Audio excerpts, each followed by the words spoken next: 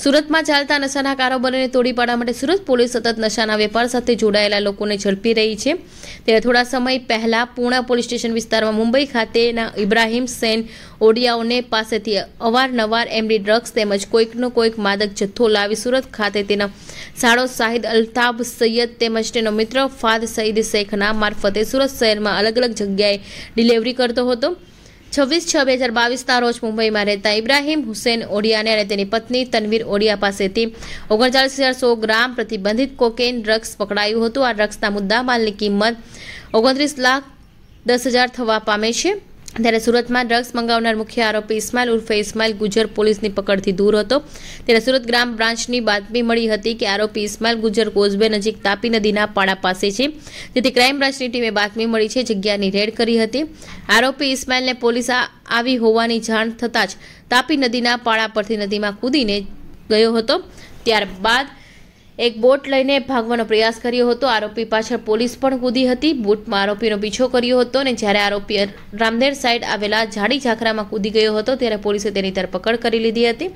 આરોપી ઇસ્માઇલ સામે અગાઉ હત્યાનો એક અને હત્યાના પ્રયાસના બે ગુના દાખલ કર્યા છે. થોડા દિવસ પહેલાં બહુ ચકચારી રીતે સુરત સિટીમાં કોકેનની સપ્લાય કરતા બે ઇસમોની ધરપકડ એસઓજી દ્વારા કરવામાં આવી હતી. આ બે ઇસમો ઇબ્રાહિમ હુસેન ઓડિયા અને એના વાઈફ તનવીર. આ બે જણાની ધરપકડ કર્યા પછી પૂછપરછ કરવામાં આવી તો એના મુખ્ય સુરત ખાતેના ડિસ્ટ્રીબ્યુટર જે માણસ મુંબઈથી ડ્રગ મંગાવીને સુરતમાં વેચવાના પ્રયાસ કરી રહ્યા હતા.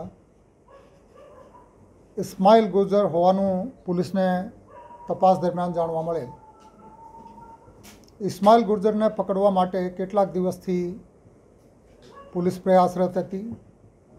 એસઓજી પણ પ્રયાસ કરી રહી હતી. ડીસીબીની ટીમ પણ પ્રયાસ કરી રહી હતી.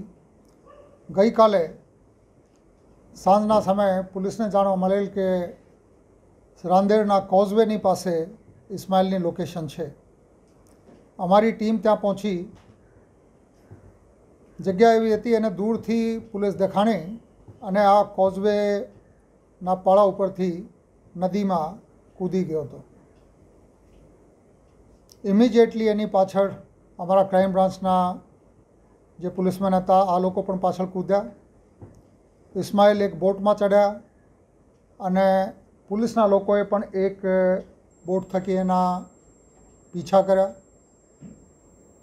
થોડી વાર પછી સો દોઢસો મીટર ગયા પછી આ બોટમાંથી કૂદીને રાંદેર સાઈડમાં ઝાડી ઝાખરા છે, ત્યાં કૂદી ગયો. પોલીસના લોકો પણ ત્યાં પહોંચ્યા, તાબડતોડ ઉતર્યા અને ઝાડીયામાંથી ઇસ્માઇલ ગુર્જરને પકડી લેવામાં આવ્યા. એની પૂછપરછ અત્યારે કરવામાં આવી રહી છે. આ ઇસ્માઇલ ગુર્જર મુંબઈથી એમડી અને કોકેન. આ બંને લાવીને સુરતમાં વેચવાવાળા મુખ્ય સૂત્રધાર હોવાનું અત્યાર સુધી જાણવા મળેલ છે.